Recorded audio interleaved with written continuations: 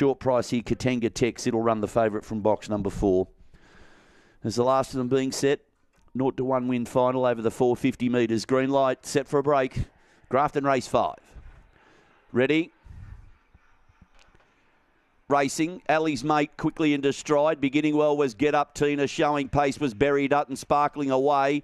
Boy Katenga Texas well back. He's trying to work his way through the field and is doing so. Master Brocky behind it. Milkman Mab back to the rear. And with it was Whiskey Miss on the side. And Berry Dutton moves up to challenge. Get up Tina. Wide of those is Katenga Tex. Uh, getting to the front was Berry Dutton. Surging clear late. Berry Dutton too strong. Will beat Get Up Tina. It's tight for third between Sparkling Away and Katenga Tex. Behind those Master Brocky followed by Milkman Mav. Well back Alley's mate Whiskey Miss. 25 and 60 is the run.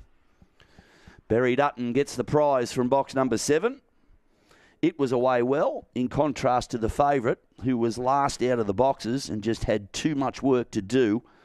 And Berry Dutton has soared home for the prize here over Get Up Tina. It's run a race. 25.70 is the time.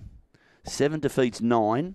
Now, four, Katenga Texas grabbed third, narrowly in front of Sparkling Away, number six. Seven, nine, four, and six, the interim placings, race five. Two lengths the winning margin, two lengths. We'll get that margin shortly between second and third. One and a half it was. Two by one and a half the margins. 9 11 early. 1999 to the side and 571 on the way home for an overall gallop of 25.70.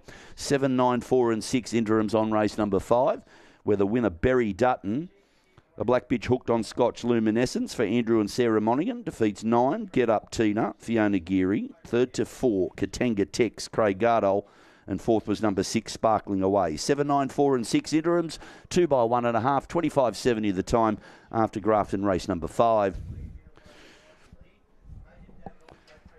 And with that winner, Berry Dutton, we've got another greyhound that's now landed on eight points for the greyhound of the month.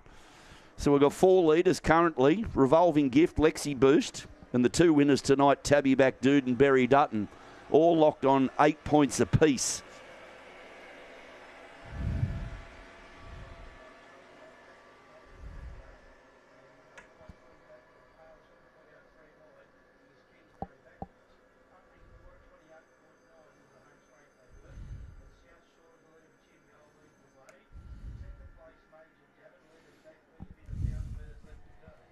All clear is Semaphore on the numbers 7, 9, 4 and 6. It's all clear to pay on race number 5.